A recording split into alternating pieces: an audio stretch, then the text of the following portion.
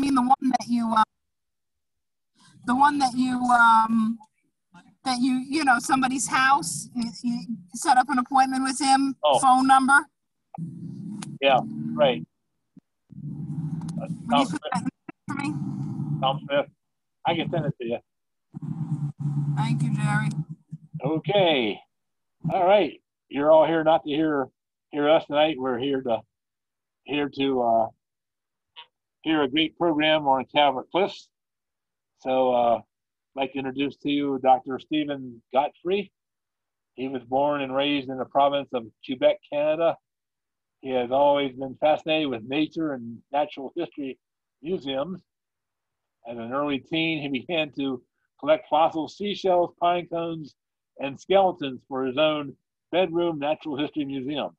That word skeletons kind of scared me when I, when I first read that. He received a BSc in biology from Bishop's University and a PhD in paleontology from McGill University. Following a two-year postdoctoral fellowship at the University of Toronto, he moved to Drumheller, Alberta, which is known as the dinosaur capital of Canada, where he became involved in the paleo's uh, exhibit work for museums around the world. In 1998, Dr. Godfrey became the curator of paleontology at the Calvert Marine Museum in Solomons, Maryland, where his mandate is to collect, preserve, and interpret fossils from the famous Calvert Cliffs along the Chesapeake Bay. Most of the fossils that he quarries from the cliffs are the extinct whales and dolphins that lived between 8 and 18 million years ago. So we want to welcome Dr. Godfrey, and uh, if you've never been to the uh, Solomons, uh, uh, to the Calvert Mar- Marine Museum, it's worth a trip uh, when you're down there collecting Calvert Cliffs. So, Dr. Godfrey, it's all yours. Thank you very much, Jeri, for the invitation. It's my pleasure to join you guys this evening. So I'm going to share my screen.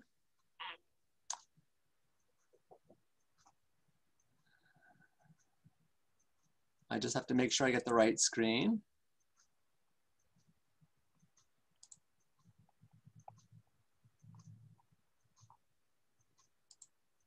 Yep, I see it. There, are you good? We're good. Okay. So this evening, I would like to present to you um, a talk on the geology and Miocene paleontology of Calvert Cliffs. And uh, as most of you probably already know, Calvert Cliffs extend for about 35 miles along the western shore of the Chesapeake Bay from southern Anne Arundel County down to the southernmost tip of Calvert County between those two yellow arrows on the screen. So the age of the sediments that comprise the cliffs range from about um, 18 million years uh, ago old to about 8 million years uh, ago. So there's roughly 10 million years worth of Earth's geologic history preserved in the sediments along the cliffs. And so you can see that they're within the Miocene epoch. So when you compare how recent the Miocene is to the overall age of the Earth, it really is in, in what we refer to sometimes as the nosebleed section of the geologic column. It's quite recent, relatively speaking. So here's a photograph of a typical section of the cliffs. And uh, you can see that um, the base of the cliff is uh, easily eroded by the wind and the waves, the wind pushing the waves and the high tides that pound against the base of the cliff. Now the sediments are not consolidated. They're not cemented together. You can walk up to the cliffs and you can start excavating with your fingernails. They're just that soft. So they, they consist of clays and sands mixed in various proportions. And you'll see on the left-hand side of this photograph that uh, some of the cliff has slumped away. So the cliff can fail catastrophically. And so we always have to be mindful when we're walking along the cliffs or when, especially when we're quarrying fossils along the cliffs. You'll notice that the sediments appear to be horizontal. They actually dip just slightly to the southeast, about 11 feet down for every mile that you travel along the cliffs. which is great because the sediments then eventually come down to you at all the, all the beds come down to beach level at some point along the cliffs. So this is the geologist uh, interpretation of the different layers that are preserved along the cliffs. And the only thing I want to draw your attention to is you'll notice that uh, in this illustration, there are some beds that look like little bricks, little brickwork. And uh, those beds, uh, the brick uh, formation there actually uh, is used to designate layers that are highly fossiliferous. So along the cliffs, there are some beds that are just chock full of uh, carbonate fossils, of the shells of mollusks that lived during the Miocene. And those really shelly beds then alternate with beds that are more clay, that are almost devoid of fossils. And then the shelly beds come back and then the clay beds and the shelly beds. And so there's this repeating pattern that we see along Calvert Cliffs. And that has everything to do with the prehistoric environment that existed during that 10 million year period of time when the sediments that make up the cliffs were being laid down. So here's a geologist um, rendering of what uh, we think the Miocene North America looked like. And you'll notice that there's no uh, polar ice cap. Overall, global climates were warmer then on average than they are now. So there was no ice at the North Pole and there was less ice at the South Pole. So when you melt those polar ice caps, you in, invariably raise the level of the water in the oceans. And you'll notice that the, uh, the arrow is pointing at the Atlantic coastal plain. And this area uh, certainly where I am, not where you are, but certainly where I am, would have been underwater for most of that 10 million year period of time. So here's uh, a view of uh, the Chesapeake Bay, the Delmarva Peninsula in the foreground, and then the arrows are pointing out where Calvert Cliffs are. The green dot is where I am at the Marine Museum, and then we're looking west towards Washington, the Piedmont, and the Appalachian Mountains. So during the Miocene,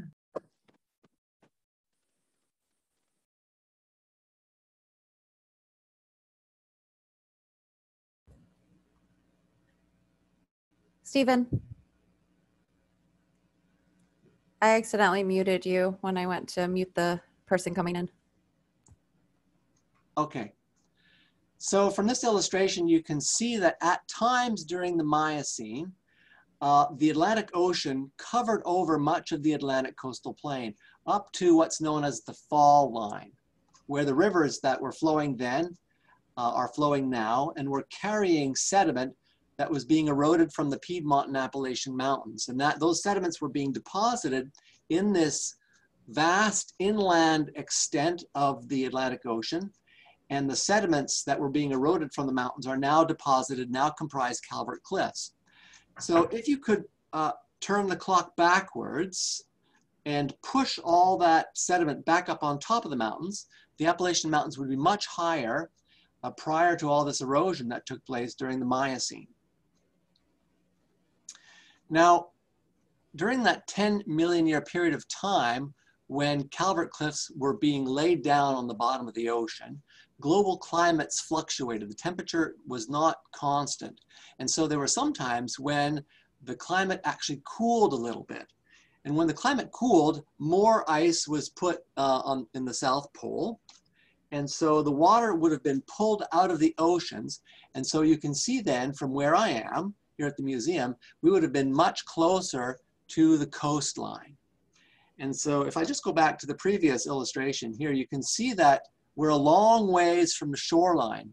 And so what that generally means is that the only sediments that make it out to where Calvert Cliffs are now would be fine grained sediments that would have stayed suspended in the ocean water long enough to drift out that far and then settle to the bottom. So when you have a very deep ocean like this, it's reflected in clay sediments, uh, almost devoid of sand.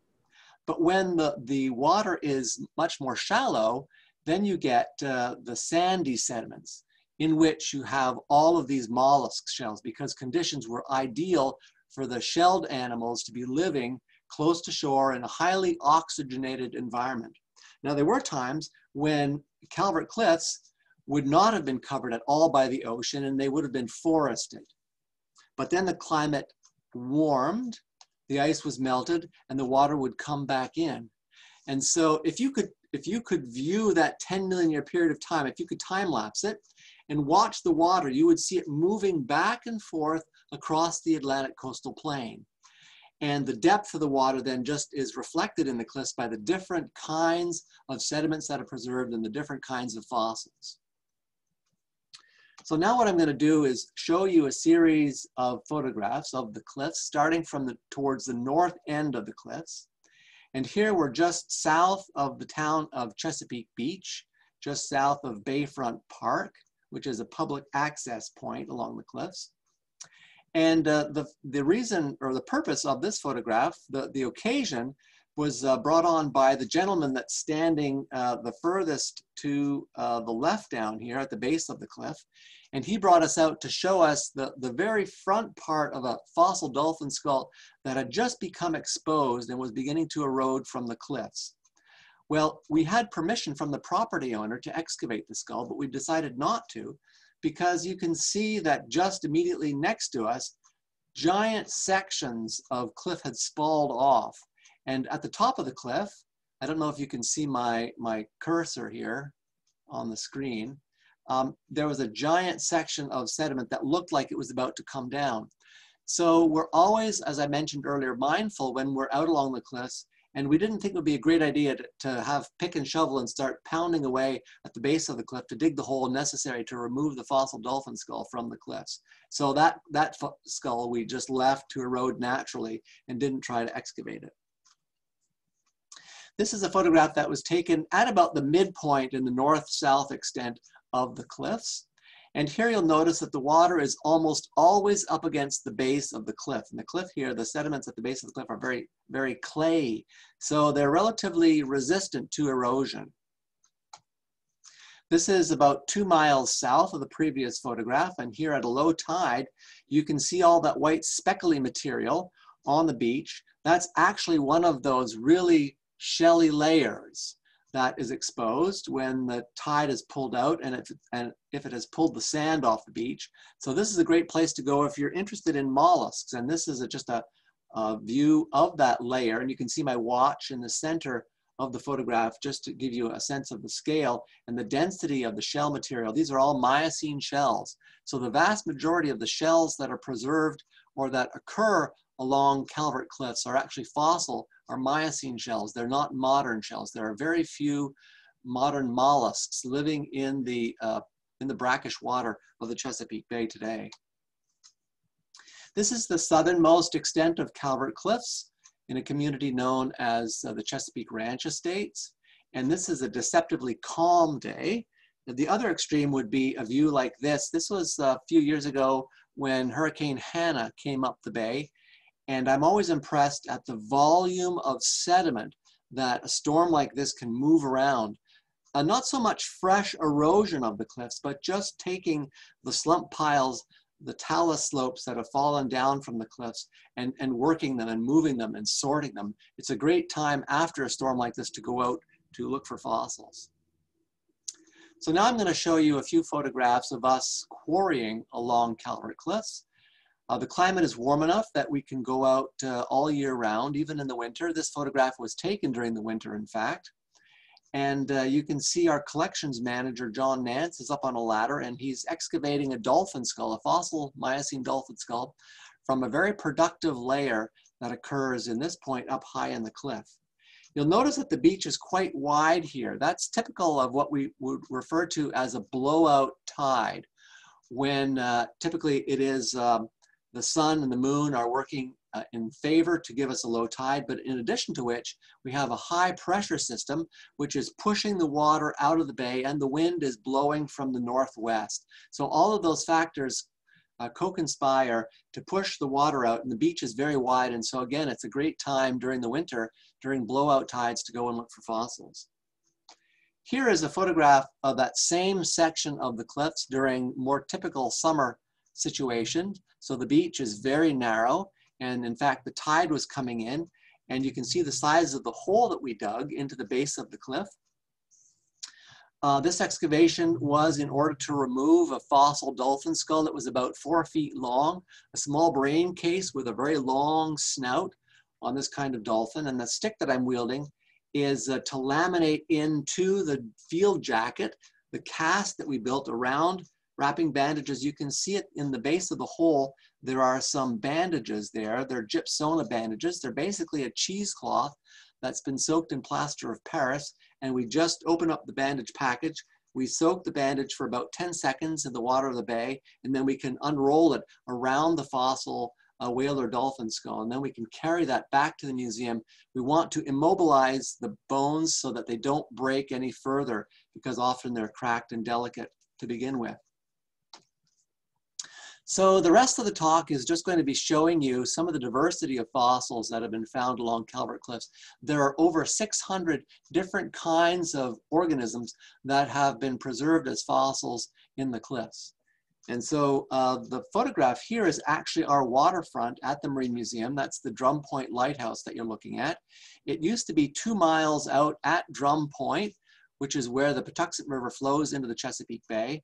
And it's a traditional screw pile lighthouse that is uh, typical, was typical of the Chesapeake Bay.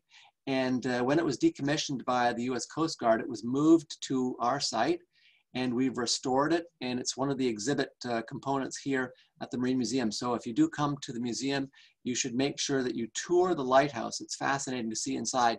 People would actually live offshore. Uh, the lightkeeper uh, would live offshore with his family in this uh, two-story residence. And it's just amazing to see how they lived in that space. So there are untold trillions of microscopic fossils preserved along Calvert Cliffs. All you need is a teaspoonful of sediment to uh, find a diversity of fossils like this. And I'm showing you a photograph of a foraminiferan and a diatom. So two very different kinds of microscopic organisms that were uh, abundant during the Miocene. And each one of these is important in its own right. It has an evolutionary history.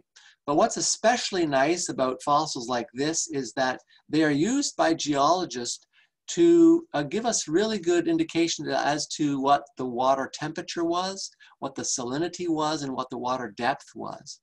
Because these animals have preferences in terms of the environment in which they live.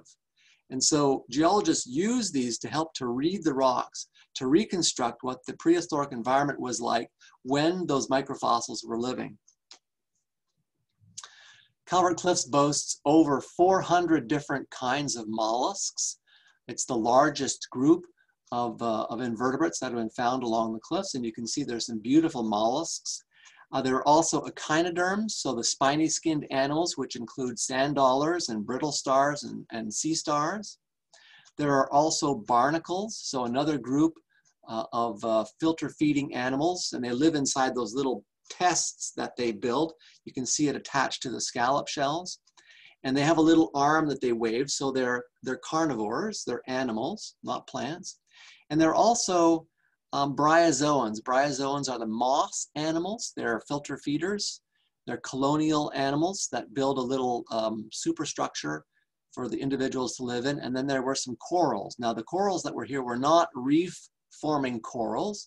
They were just um, these colonial corals that would grow anchored to a, a hard substrate on the bottom of uh, the bay, uh, of the Atlantic Ocean at that time. We boast the world's largest fossil crab. It's a spider crab. So you can see in the uh, figure here that this central portion here, which looks like a little square, is the central part of the body, and then the very long legs that come off this animal. So it was given a new name, and amplesimus just means large or uh, enormous. So Libinia is a living genus of spider crabs that presently inhabits the Chesapeake Bay, but they're much, much smaller than these very large spider crabs. And in the lower right-hand corner of this slide, you can see a close-up view of one of the crab claws. But notice how riddled with cracks uh, the surface of the actual shell material was. So it's a very, very delicate, and this uh, find was just remarkable that that much of the spider crab was found.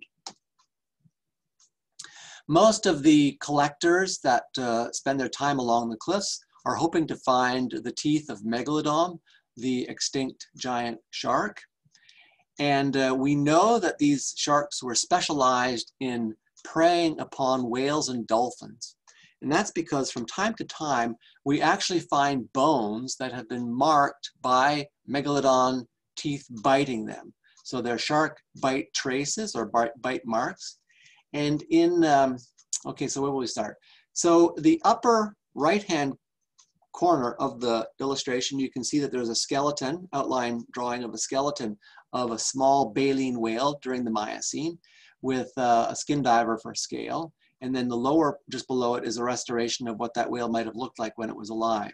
So next to that, on the left-hand side of the slide, you can see uh, the bone. I'm just gonna stop for a minute and jump down at the bottom, the very bottom of this uh, slide. There's a long bone. That's actually part of uh, the lower jaw of a baleen whale. And if you look closely at it, you'll see that there are all kinds of bite marks on it or bite traces. And one of those is illustrated in the upper left-hand corner where you can see that the megalodon tooth struck the bone and then the little bumps, the little serrated edge, the steak knife-like edge of the megalodon tooth raked the surface, confirming that it was in fact a megalodon that was biting repeatedly this lower jaw of this baleen whale. So that to me suggests active predation, that when an animal is biting your head, he's trying to kill you. And of course, the tongue is a delicacy. There's a lot of meat there. And so as an example, modern killer whales will often kill a whale and just eat its tongue and leave, leave the rest of the carcass for other scavengers. The next uh, photograph that I'm going to show you are actually is actually a single vertebra from a fossil dolphin. This is a, a line drawing of the skeleton of one of the more common types of dolphins that lived during the Miocene. This is an animal called Xiphiacetus bossi. Xiphia means sword, so these are the sword dolphins, just in reference to the very long snout that they have. And you'll notice that three of the tail vertebrae just down in front of the fluke have been uh, blackened. So the next bone that I show you is one of those blackened bones. They're called peduncular vertebrae. It just refers to their position at the base of the tail. So this is actually a remarkable discovery. It's a single vertebra looking at it from uh, left and right sides and then a top view looking down the sides uh, of the vertebra.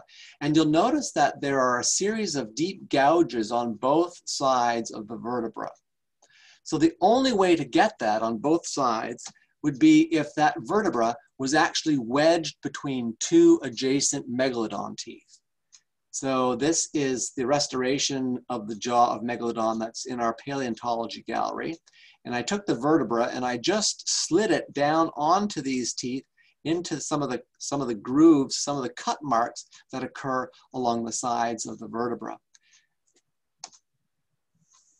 So we know from uh, studying modern great white sharks, which you can see here in the center of the photograph. There's a great white shark that's actually scavenging a dead baleen whale. Looks like, um, um, it looks like,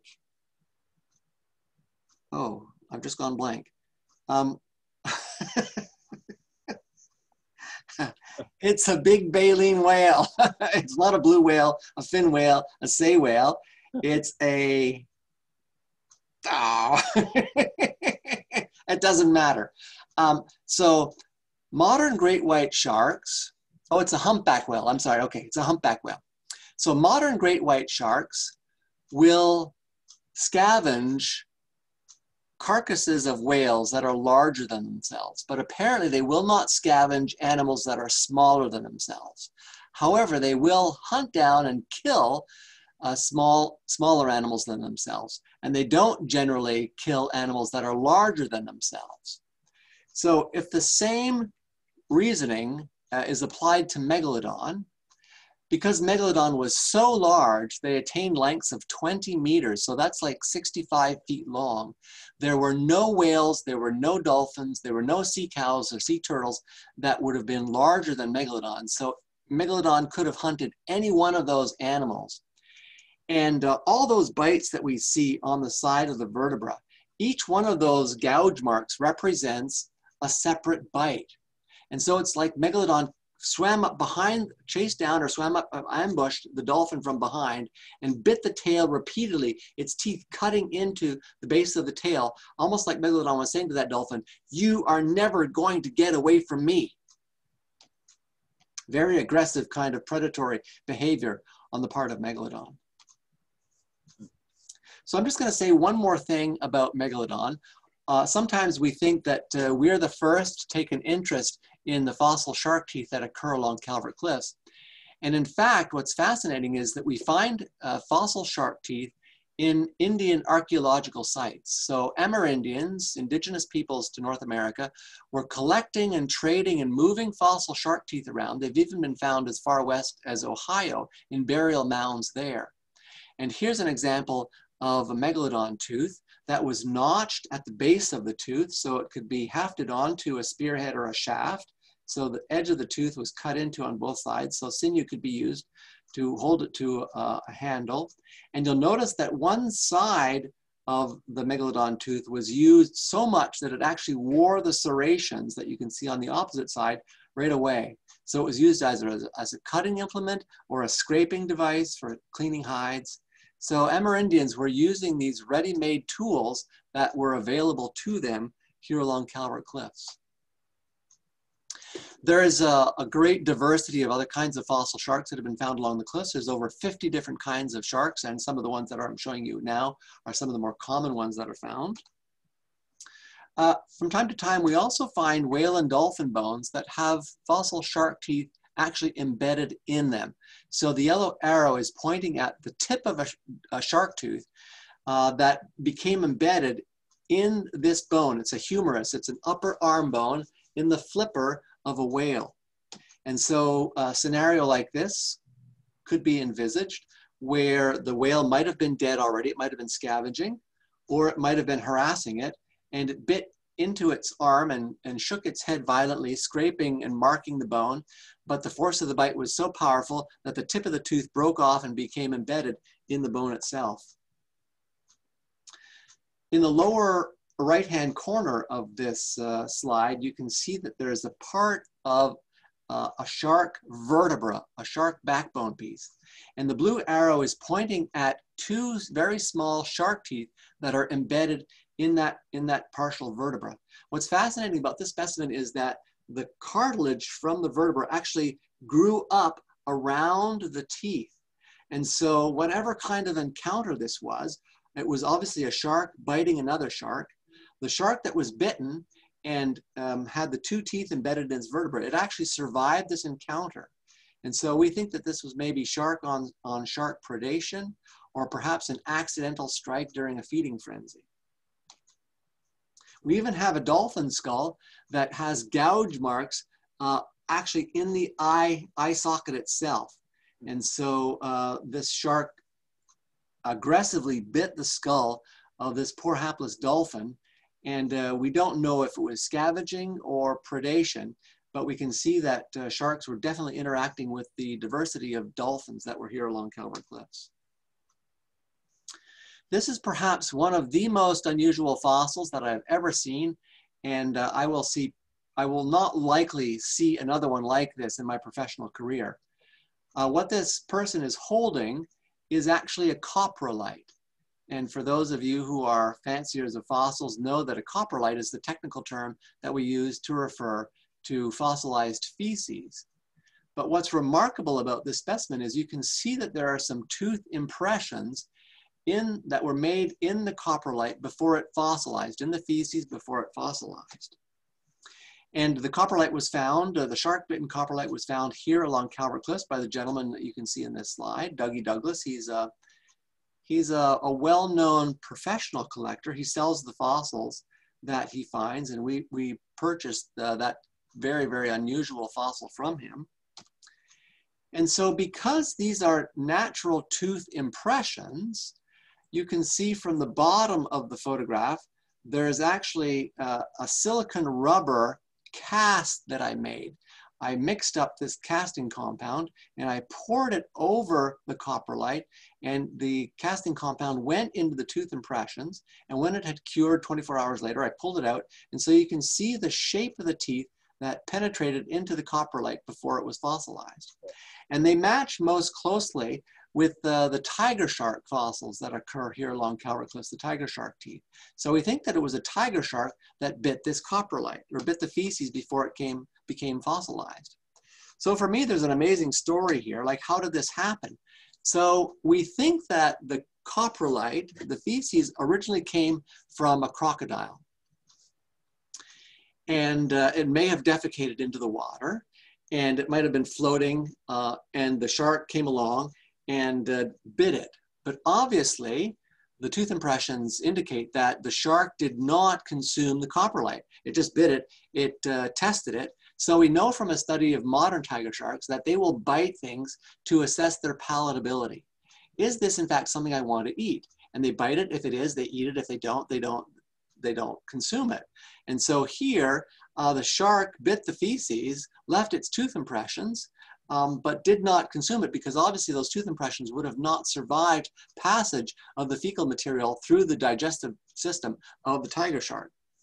But what's interesting about it is if you flip it over, you can see in the center of the copper coprolite here, there's just a few faint impressions, which to me suggests that the, the fecal material was not floating through the water or even sitting on the ocean floor when the shark sampled it, but rather it may have still been within the body of the crocodile and the tiger shark plowed into it in a very aggressive attack on the crocodile, on these marine crocodiles that lived here during the Miocene. And I'll show you some more photographs of these a little bit further into the program.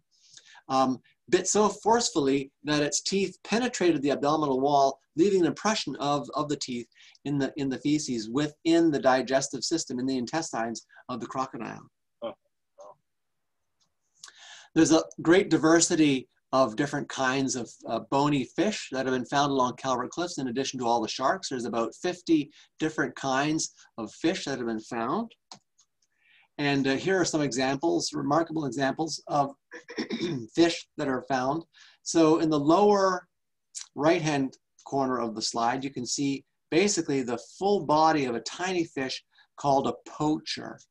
And you'll notice this, the front over here on the left-hand side of the skeleton is where the skull would be and the branchial, the gill region. And then you can see these spiky little scales that go all the way down to the very end of the tail, which is not preserved. So this is a beautiful example of a poacher fish that is found along Calvert Cliffs. Um, some years ago, a collector collected a complete scallop shell. Both valves of the scallop were together. He took it home to his place in New Jersey and when he opened up the scallop, he found this little fish skull of a sea bass that was found inside. So after the scallop died, this sea bass entered the scallop shell and the two valves then closed again, preserving the little fish almost like in a little sarcophagus. There's a diversity of fossil turtles that have been found along the cliffs. And there's also some land turtles that made their way into this marine environment. So there's an enormous turtle. You can see uh, this leatherback turtle in the upper portion, restoration of what it looked like. So they had um, quite a, a, large carapace. The whole animal would have been between eight and nine feet long. And so the young lady in the lower left-hand corner here of the photograph is holding the humerus or the upper arm bone from one of these very large turtles. And then there's another turtle here uh, with our little human skeleton as, as a scale, a much more typical sized sea turtle. So this leatherback, leatherbacks live today and they're the largest living turtles. They're marine turtles. So here's another view of uh, some of the marine crocodiles that were here, an animal known as Thecachampsa. And uh, from time to time, we find portions of the skull, and you can see in the upper left-hand corner of the slide, there's tooth sockets there. So the teeth are found more commonly along the cliffs. And it's related to a crocodile that lives today in Southeast Asia. So that's another indication that the climate was warmer. There were crocodilians that were living here during the Miocene. And you'll notice that crocodiles, like living crocodiles, the body was armored. It had bony plates that ran from just behind the skull all the way down to the end of the tail. So they had a body armor. And uh, that's what you're looking at here on the right-hand side of this uh, slide is one complete osteoderm or scute. And it has a very typical or very, very characteristic type of sculpturing So that all you need to do is find a small part of this and you know that you have a, a crocodile scute. Here's a typical tooth that's found uh, from one of these large Miocene crocodiles. There is a diversity of birds that were found that are found along the cliffs.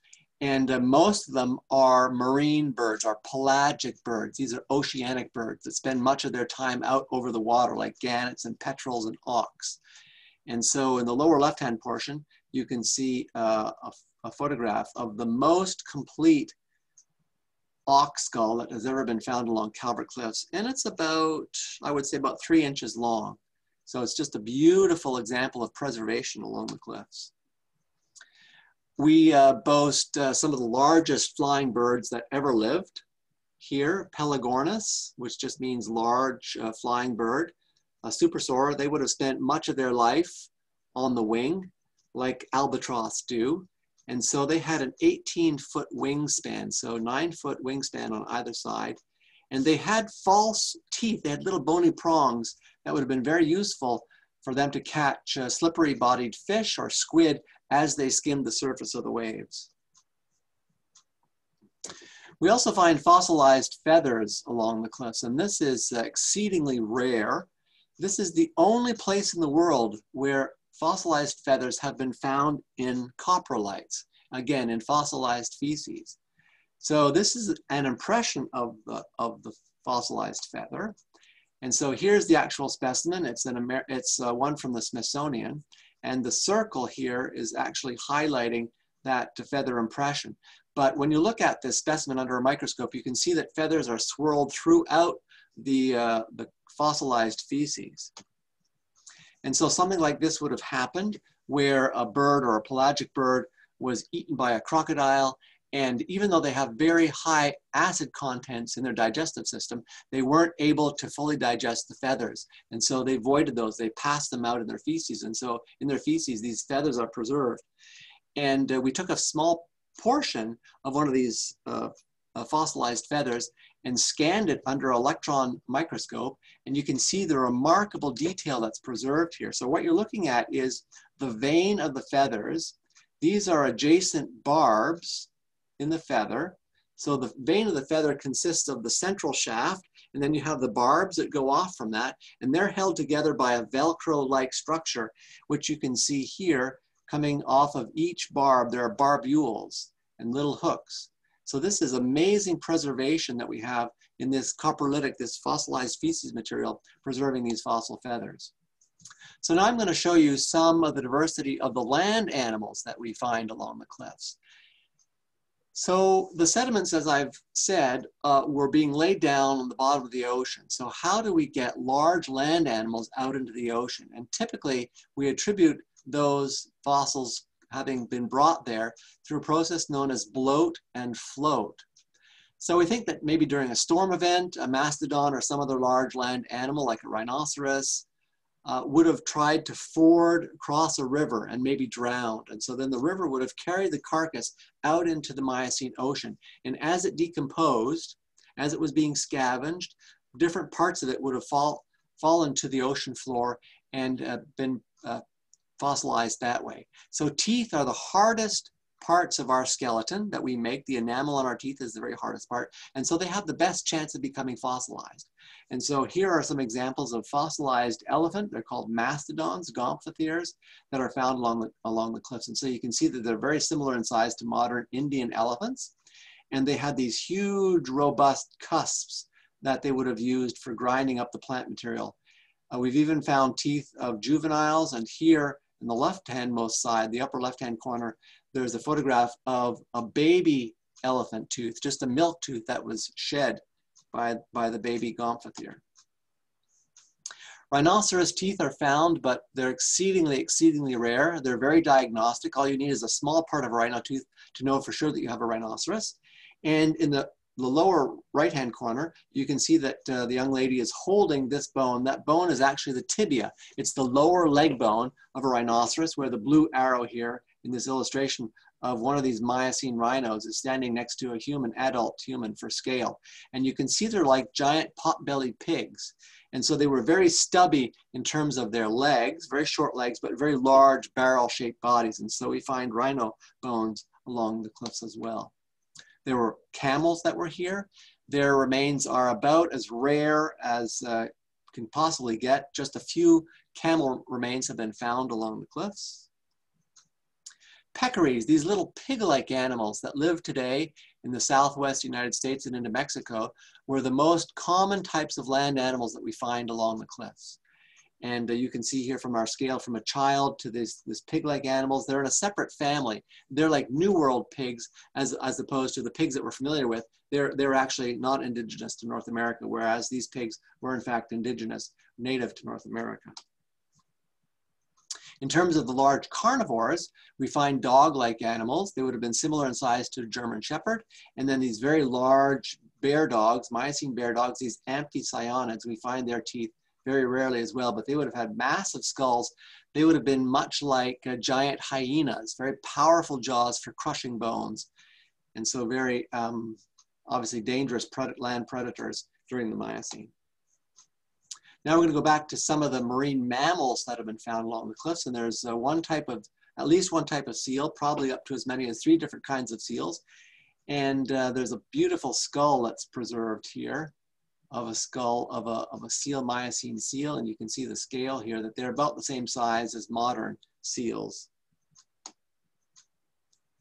There's quite a diversity of whales and dolphins that have been found. There's at least 35 different kinds of dolphins and about uh, six or seven different kinds of whales. And so the skull that's being shown here is actually from a sperm whale. They were small compared to modern sperm whales. That skull is only about two feet long. So little tiny sperm whales, uh, pretty much like pygmy sperm whales that live today. And then, as I've mentioned previously, these very long snouted dolphins. At the bottom, you can see a photograph looking down on the top of the skull and how small the brain case region is where the eyes and the brain would have been, and then the very long snout that these dolphins had. Here's another example of a long snouted dolphin, a different uh, genus. These animals are related to the Ganges river dolphin, to freshwater dolphins that are alive today there were uh, quite a variety of uh, animals that uh, probably gave rise to modern delphinids, modern bottlenose dolphins. And so these animals are typically known as kentriodontids. And in life, they would have looked very much like modern delphinids, modern bottlenose type dolphins. So the little video that's playing right now is actually a bone that's about the size of the end of your thumb and it, it's a bone that's referred to as the periotic. It actually is the inner ear complex of one of these dolphins. And uh, this little movie is made up of hundreds of individual CT scans of x-rays that were compiled in a program that shows the inner structure, the morphology of the inner structure of the ear bones of one of these dolphins. And so you can see the stapes, the little bone that fills in that space. Let's see if I can get my, so I don't know if you can see my cursor, but I'm pointing at the stapes, the bone that actuates and moves the fluid in this snail-like uh, snail-like structure here, which allows the dolphin to discriminate different frequencies of sound. So this bone is very, very important to modern to fossil and modern dolphins because it allows them to echolocate and to see sound as it is reflected back to them. They interpret the reflected sound just like um, bats do. They, they, it's a biosonar that they have. And so they use uh, sounds that are made on their face, just behind, just above the eyes, clicks and whistles. And those sounds are sent out, are propagated through the ocean water, and they bounce off of objects, fish, or other objects in the water and come back to them. And so dolphins are seeing with sound. And they had a very sophisticated, even Miocene dolphins had a very sophisticated biosonar. And so they were very well adapted at hunting, even in pitch black, by using just clicks and whistles like modern dolphins do. And so finally, uh, we have the baleen whales, the largest whales that were here, and they were generally much smaller than most living whales. They would have been about the size, the largest Miocene whale that we found find here would have been about the size of a minke whale, which is the smallest of the baleen whales that lives today. And this is an example of a beautiful skull that we quarried some years ago.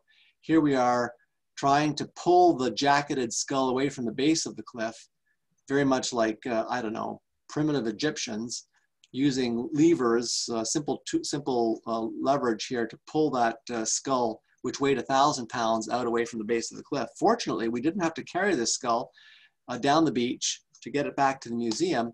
We were able to uh, conscript the search and rescue team from Naval Air Station Patuxent River. They have a search and rescue team because they have test pilots that fly out of that air base. And uh, if there's ever a pilot that goes down, they can send out this team to rescue them. And so the, the person that you can see dangling from the helicopter is called the swimmer.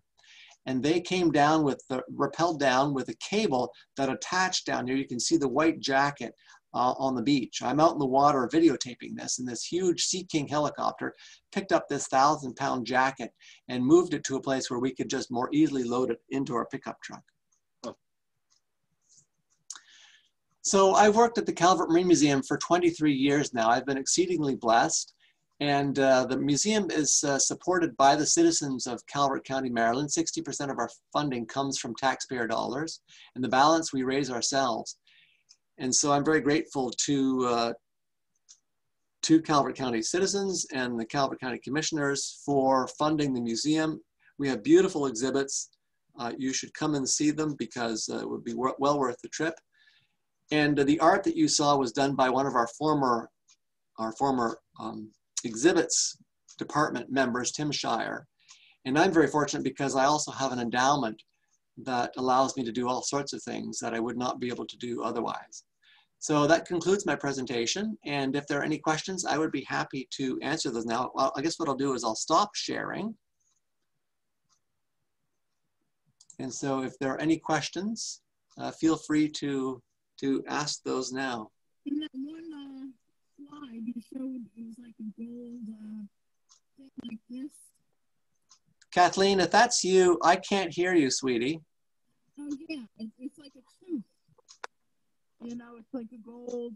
What was that gold thing? It, was, it went like this. It went like a J. I apologize. I can't make out what you're trying to say. I'm sorry.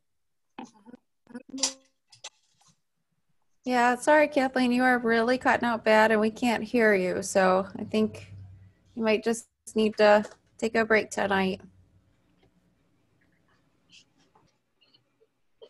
Stephen, how I have a question. how often do you, Stephen, find a, a skull sticking out of a cliff someplace? So as the cliffs erode naturally, there's quite a large number of uh, amateur collectors who are keeping an eye on the cliffs.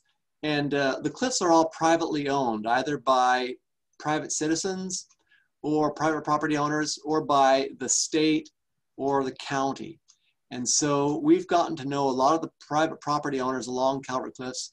And for us, it's only a phone call if uh, a, a, skull is reported to us eroding from the cliffs. So as the cliffs erode back, you can imagine that uh, this hand here are the fossils, and this vertical hand here is the cliff face. And so as the cliff erodes back, the fossils that are in the cliff become exposed.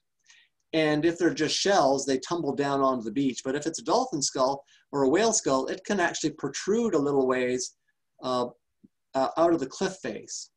And so if someone spies it and reports it to us, and as I mentioned, there's a large pool of people who know that obviously we're interested in fossils and, and preserving them in perpetuity here for the public good, then they'll let us know and we'll go out and excavate the, the fossil for the Marine Museum. In, in our exhibits, we also have a fish, like a fish bowl, where where uh, volunteers are preparing the fossils that we excavate along the cliffs. And so I would say that in a typical year, we probably excavate about five dolphin skulls and maybe one whale skull. Hmm. Okay. I have a question, unless my my connection's breaking up. Is You're everyone good. got me? You're good. All right. It's about this. I found this at Calvert Cliffs at the park that you know everyone walks up to. Uh, if I can share my screen, I can show you better pictures instead of just holding it up to my camera. I'm good with that. Um, cool. Hold on one second. Uh, here we go. Y'all seeing that? No. Oh, yes. Okay, I can see it now. Yes. Cool. Uh, that's that's just looking down through it. Uh, here's from the other side. Um, I've been explained to that this might not be a bone. It might be something that formed around something on a ship and fell off, like a concretion or I don't know. But it came from off, you know, in the water off the beach of Calvert Cliffs, you know, the normal, typical beach that everyone walks two miles to get to. Uh, Okay. About five years ago. Yes. So thank you for sharing this. I'm quite confident that it is not bone, but it is not something that fell off a ship. It's actually a concretion of sediment. So in cross section, you could see that it was not spongy like a bone. It didn't have the right structure for it to be a bone. But what it probably is, is what's referred to as a rhizolith. Rhizo as in a rhizome, like a root, and lith just means like lithology, like stone. So imagine a root growing and, and, and sediment around that root cements naturally. There's a change in the pH and the sediment cemented around that root and then the root rotted away. And so that's why you have that hollow hole in the middle. So you've got a, an, an iron carbonate, an iron mineral type sediment because it's a sort of rusty color. So you've got a lot of iron oxide, but it's an iron mi- uh, mineral that formed probably around a root from a plant. Wow. It's not magnetic at all. I did test that. No, Uh, no, Yeah, it so does look iron. It's not a magnetic form of It iron. definitely looks iron. Okay, thank you. Sure. Thank you for sharing. Any other questions? Nice reindeer in the back.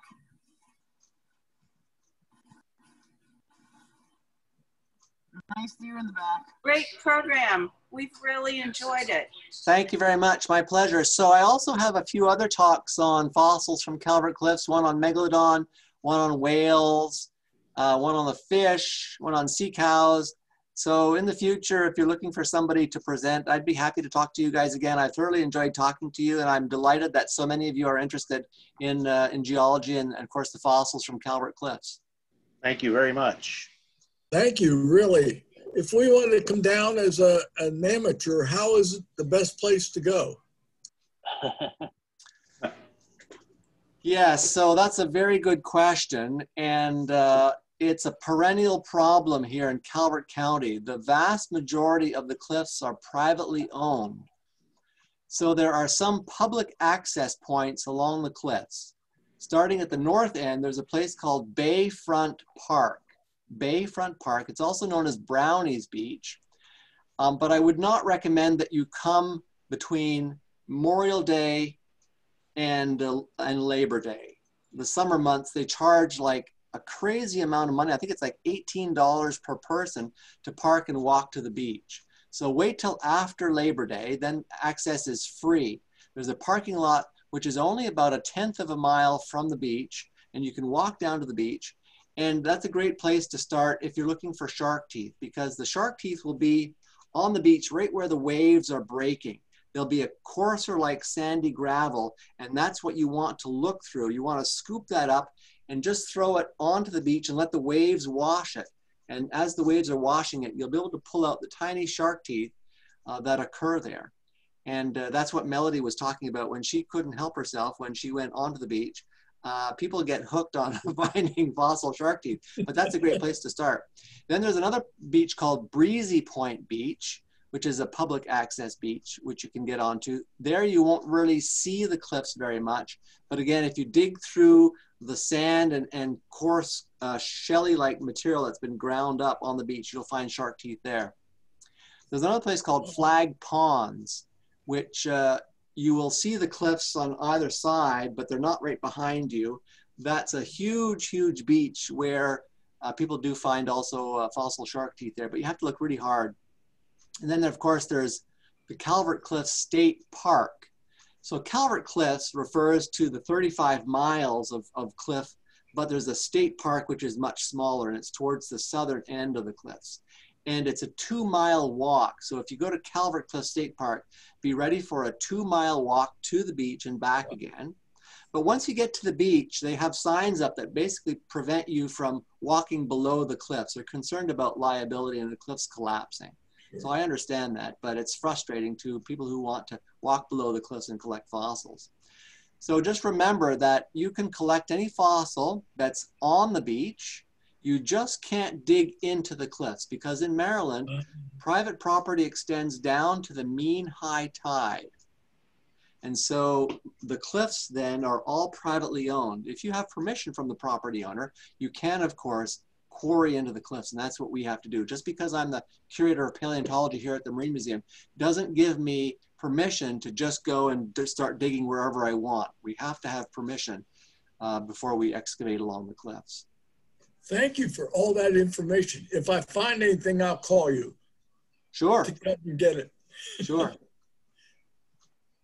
Hey, Dr. Godfrey, did you hear about the, the shark that got to be famous?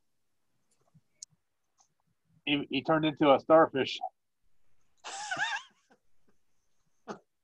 I'm I'm thrilled that you've prepared some jokes for this evening. it's light and it's light and otherwise serious talk. I worked best on the theme, yeah. But uh, that was a great program. Uh, really was. And we had a we had a total of 44 people in the, in the room tonight, which is a little bit higher than usual. So obviously the top. Yeah. Uh, And Jeri's jokes are legendary. okay, thank you. yeah, once you hear it, you don't want to hear it again. but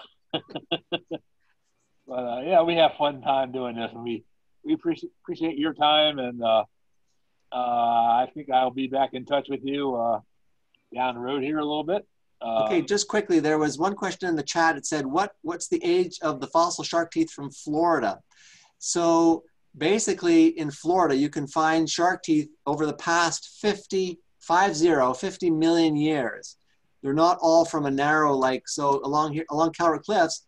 They're constrained to about 10 million years. But in Florida, depending on where you are on the state and where you're collecting fossil shark teeth, they can range in age from about 50 million years ago to uh, shark teeth that are much younger. Okay. Thank you all.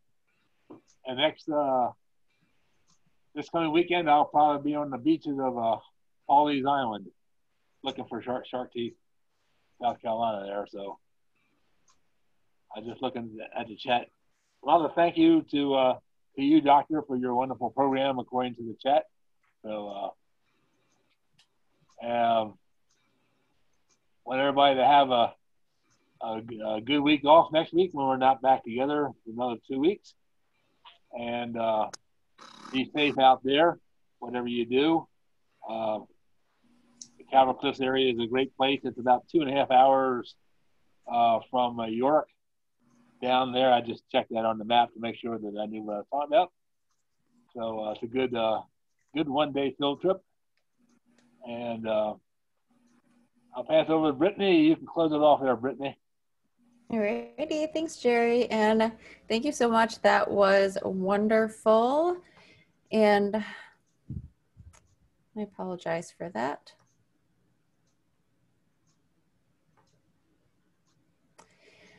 Anyways, thank you, everyone, and I'm not going to be back till the 27th, so everybody stay safe and have a good couple weeks. Take care, everyone. Was it that we met, Brittany? Who was it? Who was who was that that we met, Brittany? Now your children, right, Brittany?